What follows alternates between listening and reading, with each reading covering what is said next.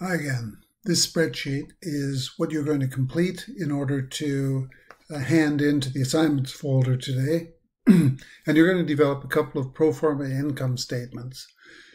Uh, you'll notice at the top it says this spreadsheet provides a simple model for preparing pro forma income statements, comparing the profitability of different international market um, of different international markets.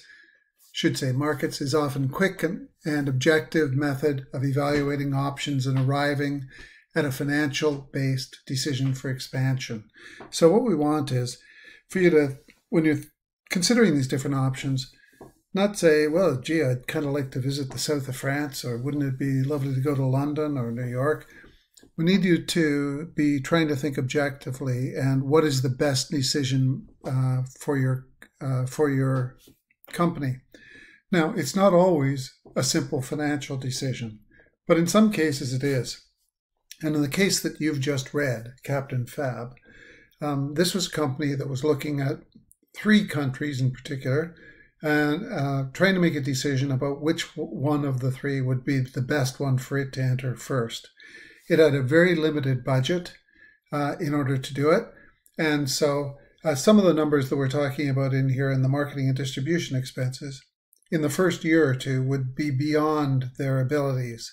But we're looking at peak sales now for these countries. So perhaps five years after launch for Captain Phab to reach the level of distribution and the level of sales that we're going to project in these forecasts. But that's what a company needs to do is look forward what will be the long-term best option for them to enter our market. So when you look at this spreadsheet, what you'll see, I've noted some assumptions down here at the bottom and also some notes on Canadian calculations based on the information that was in the case. Um, the sales that Captain Phab had in Canada in its most recent year was 120 cases, uh, pardon me, 120 uh, dollars per case, and 2,000 cases per year they were selling. And simply multiplying that gives us $240,000. The cost of goods, they expressed it in a slightly different way. They didn't do it in price per case or cost per case. They did. They told us how much it cost per uh, bottle, how many bottles were in a case. So this five by twelve is really sixty. That was our cost per case, and again by two thousand cases. So our cost was one hundred and twenty thousand dollars. Marketing and distribution, he told us, was fifty thousand dollars in Canada, um, and net income then would be merchandise sales less cost of goods and less the marketing and distribution.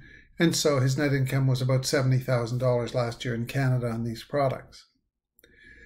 Now, in going to the UK, we had information that was given to us in the case. And uh, the primary information, we know that the UK, France, and the US all have um, quite attractive marine cleaning uh, markets. So a lot of marine uh, vehicles used in the markets. And the most important piece of information was that the UK population is about double the population of Canada. And so, in reaching his peak sales, he's going to have to make some assumptions. And one of the, the assumptions he can make, and you'll see it down here on the bottom of the screen peak sales of Captain Phab in the UK would be two times the sales of Canada based on the population of UK being two times the population of Canada.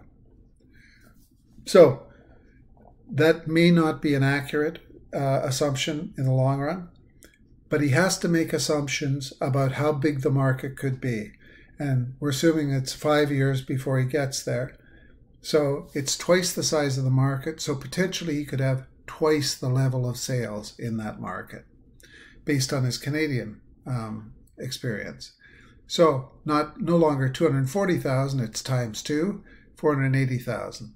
Cost of goods sold, it's simply again times two. He's selling twice as many units, 240,000. But he told us that the marketing and distribution was going to be more expensive in the UK. Of course, he's not able to do it himself. He's not on the ground there. And so he's going to have to hire people to do that. and that'll be 150,000 in the UK. So when we take the 480 in revenue, minus 240 in cost of goods, and minus 150 in marketing and distribution, we end up with a net income of $90,000. And remember, that's at his peak sales. So that's after perhaps nine, uh, five years in the market would be his assumption. So not a very high level of sales given the amount of effort that he's had to put into it. Now, there is information given in the case about France and about the US. And what I want you to do is I want you to complete the spreadsheets for France and the US. Uh, I've got a basic calculation uh, tied in at the bottom of the spreadsheet, so it'll give you your net income for both countries. You should make an assumption in terms of how big compared to the Canadian market, um, and then uh, and then put in your figure for U.S. or France in terms of merchandise sales, cost of goods, and marketing and distribution, and it will then calculate for you your net income you can state those uh, assumptions down here under assumptions for export forecasts. And then in the conclusion, based on the forecasts of the pro forma income statements, which country is the best choice for exports of Captain Phab and explain your answer.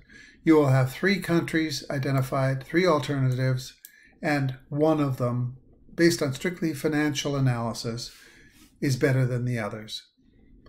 That's your assignment. Good luck to you. Please hand it in by 6 o'clock tonight.